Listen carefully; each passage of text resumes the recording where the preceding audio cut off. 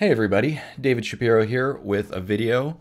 Today's video is going to be a slightly different flavor from what I normally do, still centered around artificial intelligence. So what I'm going to do today is I'm going to talk about a robot tax. This is a proposal that I've been kind of cooking around on the back burner, but I figured it's time to talk about it. So the agenda for today's video is first, let's talk about the economic impact of AI and automation why is it that we even need to talk about redistribution and a robot tax? Next, we'll talk about what is this proposed robot tax? How does it work? Uh, we'll build a case for it, say why we need it, and then we'll also look at some of the objections around a potential robot tax, and then we will uh, recap the video. So, automation has already destroyed a lot of jobs. It has created some jobs, but it has created fewer jobs than it has destroyed. This trend is only accelerating. And this is despite what some tech CEOs say. For instance, Satya Nadella recently said that you know technologies like Bing AI is going to create more jobs. Um, I disagree, and I think he knows that. But it's just a super unpopular thing to say that AI is going to destroy jobs uh, because we don't have an answer yet. We don't have a solution. And so if you say, if you come out and say, oh, yeah, you know, AI is going to destroy 50% of jobs in the next 10 years, uh, that's a super unpopular move. Um, but the bottom line is that machines are cheaper than humans. That's all there is to it. And part of capitalism, part of the free market economics, is to find efficiencies. If machines are more efficient than humans, then companies are going to use machines. It's that simple. So, industrial automation in the form of robotics is already doing this even before modern AI. Now, looking forward, AI has the potential of destroying uh, more than 60% of American jobs. So, my personal prediction is that we're going to see 70% unemployment by 2030. So, what happens when most Americans lose their job permanently? We basically have two options there's going to be riot in the streets or redistribution of wealth. And if basically the redistribution is coming, it's just whether or not the riots happen first. So, what we'll need to do is adopt an abundance mentality and get rid of our scarcity mentality. Basically, right now, everything is a zero sum game, and we have this crab mentality that says, you know what, I got mine, to heck with everyone else. But instead, we will need to decide collectively if we want to redistribute some of the value created by the rise of automation and AI. So, what do I mean by this? It is forecasted that GDP will rise faster than it has ever risen thanks to AI. We are talking trillions upon trillions of dollars of GDP growth. This is good for capitalism. I mean, there's no other way of of describing that. The best thing to happen to capitalism in the history of capitalism will be artificial intelligence. The question becomes who gets to capture that value and why? Basically, we have the choice of moving towards a cyberpunk hell or a solarpunk utopia. And it's literally just a choice. There's nothing forcing it to go one way or the other. So, with that said, this is what I mean by robot tax. Redistribution of benefits from optimization technologies, or alternatively, redistribution of benefits obtained through automation. Not really sure if I like that A bolted on at the end. But the idea is we're redistributing the benefits of AI and automation. All right, so what is this robot tax? It is a comprehensive proposal that is sort of like a UBI, a universal basic income, but one of the key differences between a robot tax and a UBI is that it's not an entitlement. One problem with entitlement programs is that they're not intrinsically funded unless you bolt a tax on with it, such as like Medicare tax. So rather than just saying everyone is entitled to a, a stimulus check every month, what if we have it so that it's actually tied directly to a tax system, a tax structure that means that it is automatically self funded? Kind of like how we have sales tax um, or gasoline subsidies. So we've got plenty of examples of taxes and subsidies that are that are grafted onto our economy um, with very specific purposes. So if we do it this way, it's superior to a UBI, and that it's not just a fixed rate, it's actually going to be directly proportional to how much impact AI has had on the economy. So, one thing that this does, that the robot tax does, is it incentivizes economic gains through automation, AI, and actually job displacement. So, what I mean by this is that the robot tax actually encourages people and companies to replace human labor.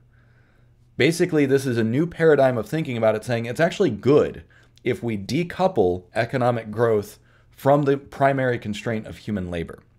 And we should reward companies for doing this, and then also reward people if they help, you know, automate their jobs away, or if they get their job automated away out from under them, because then they're they're liberated to work on other things.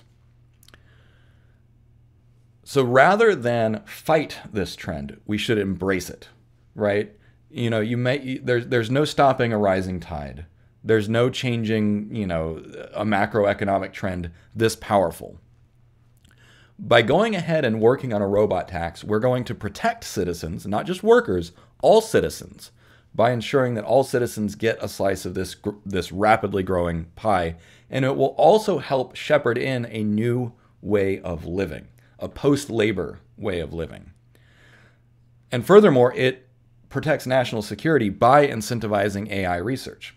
America is presently falling behind some of our key uh, geopolitical competitors. This is dangerous for us, and we should be living, leading the charge. All right, so how does this robot tax work? It's similar to a VAT or a value added tax. Um, and also, I need to add a caveat that this is just my current way of thinking, and I am not a tax expert, nor am I an economics expert. I just read some books on the, on the topic, and this is what this is the idea I got. So basically, we should target goods and services that are produced efficiently with AI and automation. This will raise the price of those goods and services a little bit, kind of like how um, how gas subsidies or gas taxes raise your price at the pump. Um, but at the same time, uh, AI and automation will drive down the price of those goods and services. So the net effect is that we'll still see lower prices um, for the goods and services we consume that are produced with AI. And some of that uh, consumption based tax will then be redistributed to everyone else. It could also include uh, tariffs, incentives, and exceptions. So, for instance, um, we could include uh, uh, protections for small businesses and essential industries. Maybe those could have uh, exemptions so that they don't get uh, disproportionately impacted. So, for instance, healthcare might be one of the primary industries that we accept from this.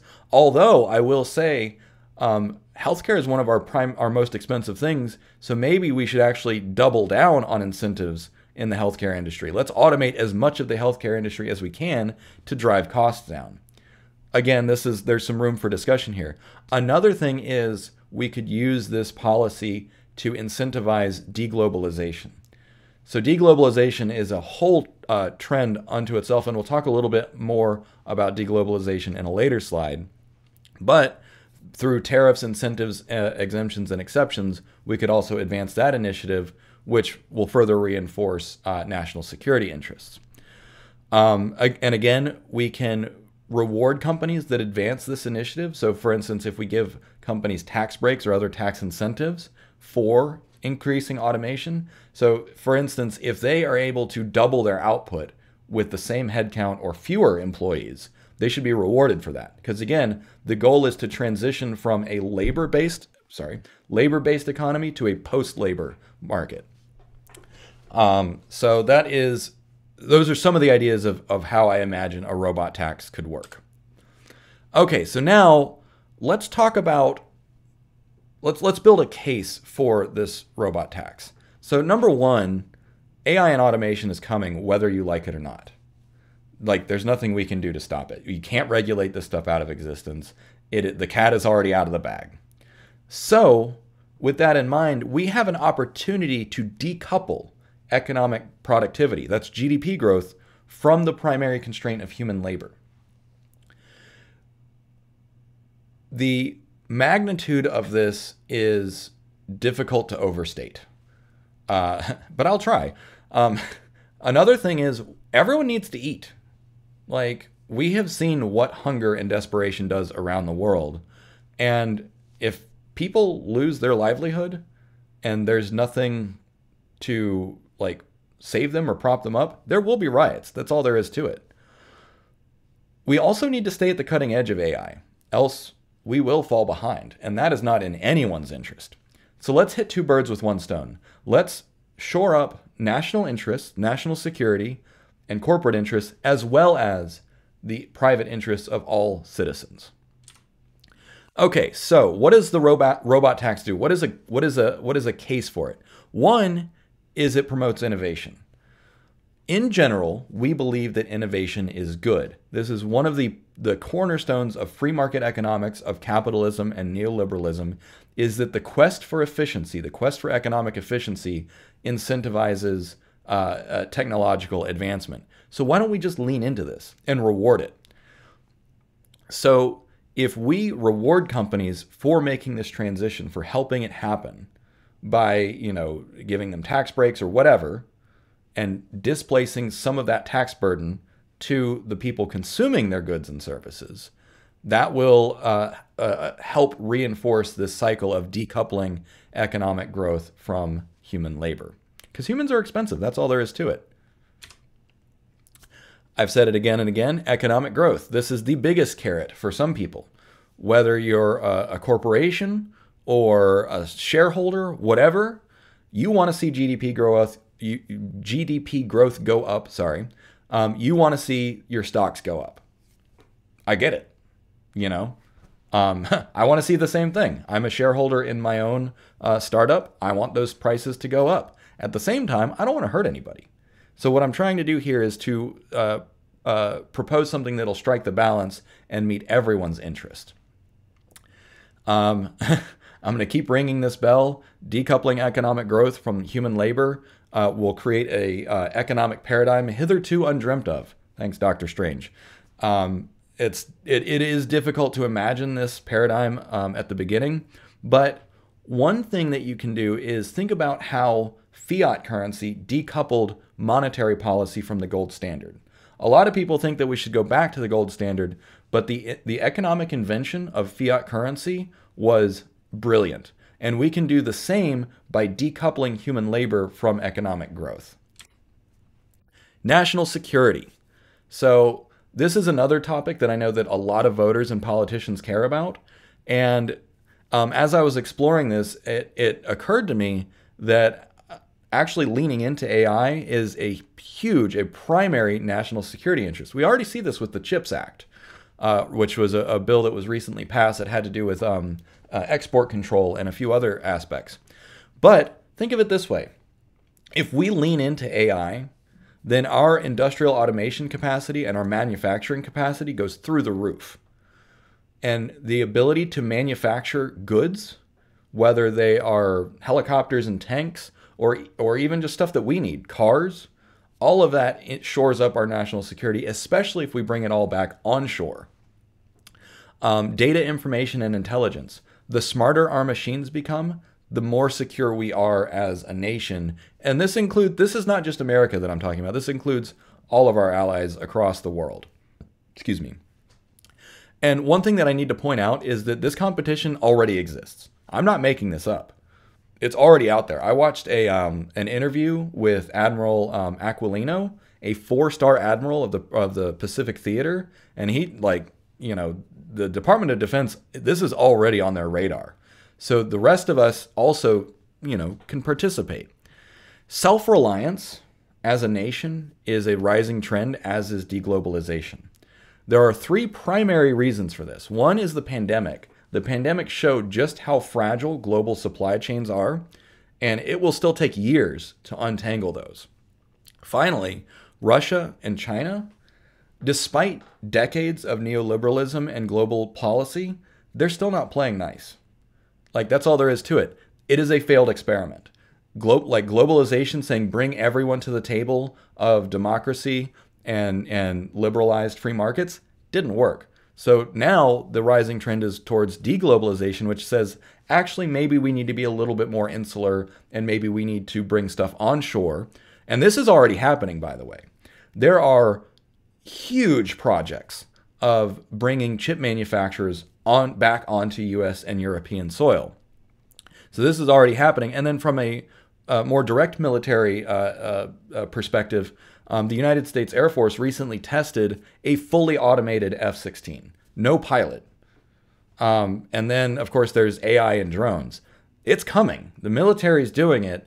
So the rest of the economy also needs to participate and and make sure that we um, are in lockstep on this topic. Okay, so I feel like I've outlined a really compelling argument to work on a robot tax to incentivize AI and advancement, and also to shore up, um, you know, the citizenry.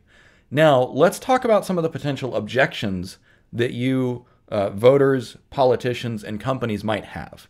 So, first, governmental overreach. Obviously, there are plenty of people out there who believe that smaller government is better. This is classical conservatives and libertarians, and some progressives as well. Um, number two, unintended consequences. What could go wrong? Number three, difficulty implementing. Nothing like this has ever been attempted, so it's going to be hard. Number four, market distort- distortions and inefficiencies. We might accidentally create problems that don't exist today. And then five, finally, moral concerns around rewarding people for not working, basically.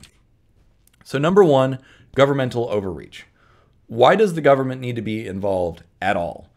It's true that a totally free market will reduce prices of goods and services with AI. It's happening, it's already happening. You look at how cheap uh, technologies like ChatGPT are and how powerful they are. For $20 a month, I have a tool that accelerates everything that I do by a factor of 4 or 10x. Like so as a writer, just as a as a quick aside, as a writer, I use ChatGPT to help me brainstorm and plan chapters. I do that for a few minutes it is like worth several hours of talking to other writers. Um, and then I sit down and I can write a 4,500 chapter, a word chapter in one sitting with the with the help of AI. This is an, an entirely new paradigm. So AI is already making things cheaper, better, faster, and so on. So why does the government need to get involved? The problem is that many people will be permanently unemployed. And we don't know how bad it's going to get. What if all of like what if nobody ever makes money from writing fiction ever again? We're already seeing a huge trend towards AI generated art.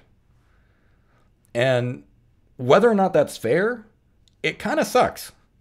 And so, if people become permanently unemployed, consumers will have a reduced ability to participate in the market, and that's just bad for the economy. Consumers need money in their pocket in order to spend it.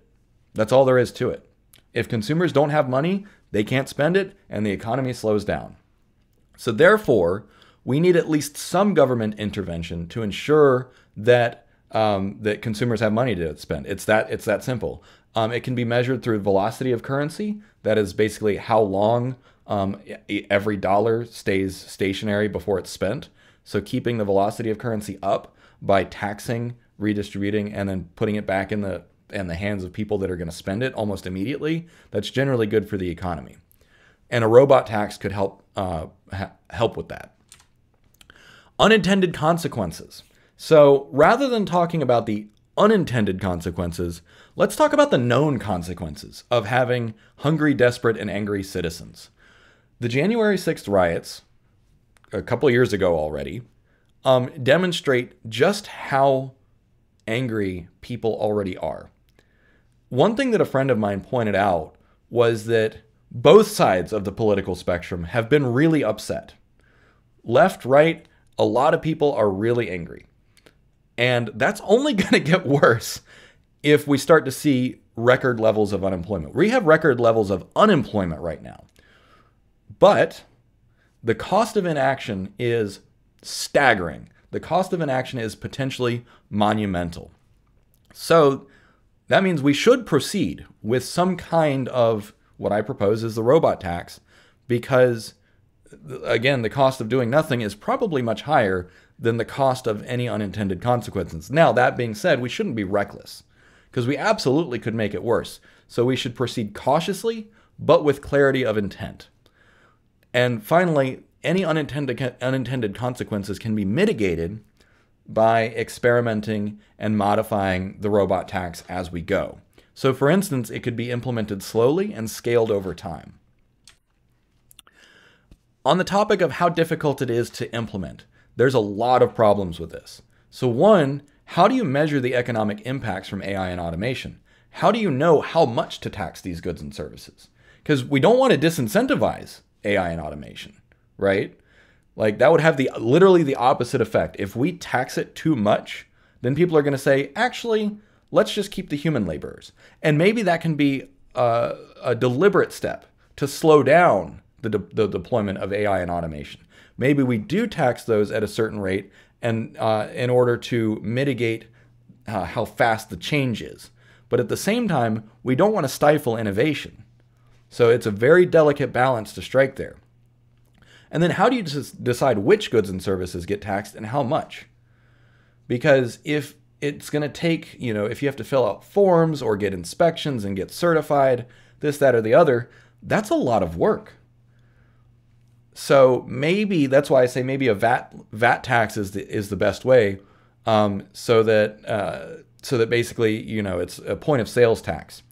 It might also be easier or better to tax the companies that uh, lay off employees. So, for instance, if an employee gets laid off due to getting automated out of a job, maybe that's where you tax it. But then you create an incentive to change hiring practices. And this is one place that I agree with neoliberalism. Let let the labor market shape itself, but then you you tax probably at the point of consumption. Again, I'm not an expert, but this is kind of the best that I've got um, at this point. And then finally, how do you decide who gets how much? should it be universal and equal like the you know the idea of a universal basic income but then you ask a question what if a high earner gets mechanized mechanized out of a job isn't that a little bit unfair like what if what if someone who is like I was an IT professional making six figures what if I got mechanized out of a job and then it's like oh here's uh you know $800 a month um, you know as opposed to the nearly $10,000 a month uh, that you got before like that seems deeply unfair so there are uh, many questions around unfairness, especially as more and more white collar workers get mechanized out of a job. But then also look at the artists, look at the writers and graphic artists that are already struggling and already being harmed by this. So uh, it's gonna be indiscriminate, basically. Uh, so this is this is a this is a pain point of implementation, but I'm not saying that this is a barrier to implementation. It's just going to take some wrangling and negotiation. Something a little bit more abstract is the concept of market distortions and inefficiencies. If the robot tax is improperly um, implemented, it could incentivize gamifying or rigging the system. One of the best examples we have of this is corn and oil subsidies. So, corn subsidies have and soybean subsidies have meant that a lot of farmers just keep planting soy and corn even if it's not needed because they, they know that government will guarantee a rate for them. Um, ditto for oil subsidies. So, um, creating subsidies or perverse incentives can create a lopsided market that is actually kind of paralyzed and um, is not adaptive. So, we need to be really careful that whatever we do around a robot tax doesn't create a lopsided or paralyzed market. Another example of how this kind of thing can go wrong is the well intentioned PPP loans, the, the Paycheck Protection Program loans that happened during the pandemic. They were right, they were super inefficient and they were rife with abuse. Um, but an example of something that did work were the stimulus checks. So I, at the time, I made too much money, so I didn't get a stimulus check, but a lot of my friends did. And it was like magic. Like they just woke up and there was an $1,100 check in their bank account or however much it was. I guess it varied from person to person. So we have a model for just depositing money um, very efficiently into people's bank accounts. It can be done. Now, of course, that that assumes that someone has a bank account, and not everyone does. Especially the most um, uh, disempowered and disenfranchised people. Many of them don't have bank accounts. Um, but at the at the end of the day, we will need to be very careful about incentivizing the behavior that we actually want to see. And I, as far as I can tell, there are three primary um, places that we need to look at behavior. One is corporations, companies, What behavior do we want to do, do we want to incentivize companies? Like I said earlier in the video, I think that what we should incentivize is that transition to a post-labor market, to to decouple um, com- uh, corporate profits from human labor. Um, then what do we what what do we want to incentivize consumers to do? Well, we want consumers to consume, right? That is just a, a, a baseline assumption of neoliberalism is that you want consumers to spend money. The best way to get consumers to spend money is for them to feel safe and secure so that they know that they can spend the money that they that they have. If people don't feel safe and secure, they save. And that's bad for the economy, right? Because if you're if you're waiting like to get healthcare, if you're waiting to buy a new car, if you're waiting to fix out your home because of uncertainty, that's not good. So if we can use the robot tax to one, incentivize companies to move towards a post-labor uh, uh, economy and then also give consumers the confidence to spend and not and not need to save. Imagine that the need for retirement savings goes away permanently. That's the that's the future I want to live in, where we all have so much financial security that we don't even need to think about saving. And then finally, how do we want the market as a whole to behave? And by market, I mean the goods and services markets, and then also the labor market. Um, it, there will almost certainly always be a need for some human workers, um, whether it's the AI researchers, at least until AI takes over its own research, um, uh, you know, uh, childcare, education, um, me- uh, some aspects of medicine, we will always need to have some human workers. And so we don't want to disincentivize all people from quitting permanently. But that being said, we also want to support the people that can no longer work. Finally, moral qualms. One of the biggest uh, uh, rejections of things like UBI is what do people deserve? You know, you don't deserve anything unless you work hard. So this goes back to the founding of America with our Protestant work ethic, which basically says laziness is sinful. I've made plenty of other videos about this, so I won't get too too deep into it, but we do need to address the elephant in the room. There are plenty of people who say if you don't work, you don't deserve anything. That if you don't work, you should be punished for it. There are I mean there are plenty of people, just go on the internet. There are people who say that it is immoral to be lazy, to be unemployed, and that it should be uncomfortable that that the incentive to get back to work should be there and it should be uh, painful to be unemployed. I don't think that I don't think that that's fair. I don't think that people deserve to be in pain or to be scared if they lose their job to AI and automation. So we can talk about morality, but I'm just as eager to flip that script and turn it around and say actually maybe it shouldn't be maybe people shouldn't be punished Maybe people shouldn't be scared and afraid and hungry. Maybe using maybe using those negative incentives, you know, that that that threat of abandonment, maybe that's not the kind of society we should build. Now, another argument is, well, if people don't need to work, won't they become lazy and useless? Don't we need an occupation to even have our identity? Um, from my personal experience, I quit my day job a month ago no, absolutely not. Um, it is an absolute myth that we need work in order to feel um, alive or to have an identity. That is a total fabrication that the establishment tells you because, again, the economy has been driven by the need for human labor. But if we decouple human labor from the economy, then you know the capitalists won't care. It's like go do whatever you want right? As long as as long as consumers have money and they spend it, the capitalists won't care. So the myth that you need an occupation, that you need a job to stake your identity on, total lie. Absolute fabrication. That being said, humans love challenges. We need to feel a sense of mastery and competence. That's why people play so many video games. A video game is a is a carefully curated challenge. Uh, a lot of people do gardening. They learn about gardening or they work on cars, right? Whoever, whatever. We all find stuff that makes us feel alive and engaged, and we don't need a job to do that. That being said, there will still be economic incentives to do things like start a business or find other ways to contribute. It's just that it won't be absolutely necessary to find a job in order to live, right? And in, in fact, one thing that many UBI studies have found is that with that baseline level of security, people often get more creative and find better ways to contribute.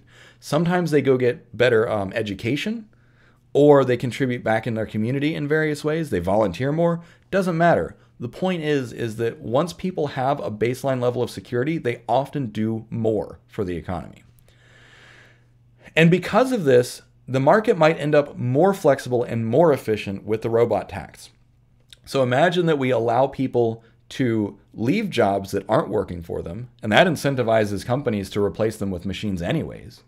But then, if you have a huge pool of surplus labor whenever they're needed, that is going to be really, really good for the economy. Because a surplus of labor will uh, drive down prices, uh, the cost of labor, which will then provide more benefits because cheaper labor means uh, more investment and also bringing more stuff back onshore. Remember, deglobalization. So I think if the robot tax is implemented correctly, we're going to get compounding returns. All right, so in conclusion, AI is coming. That's all there is to it. AI is going to be really good for the GDP. And by extension, it's going to be really good for stocks. That being said, we probably need to figure out a way to share. The paradigm shift that we're facing is completely new. We have never seen anything like this. And the key thing the key fundamental aspect of this is that we have an opportunity to decouple economic growth and output from the biggest constraint right now, which is human labor. So, with all that said, thanks for watching. Um, I hope that this uh, resonates with you. Um, and uh, yeah, talk again soon.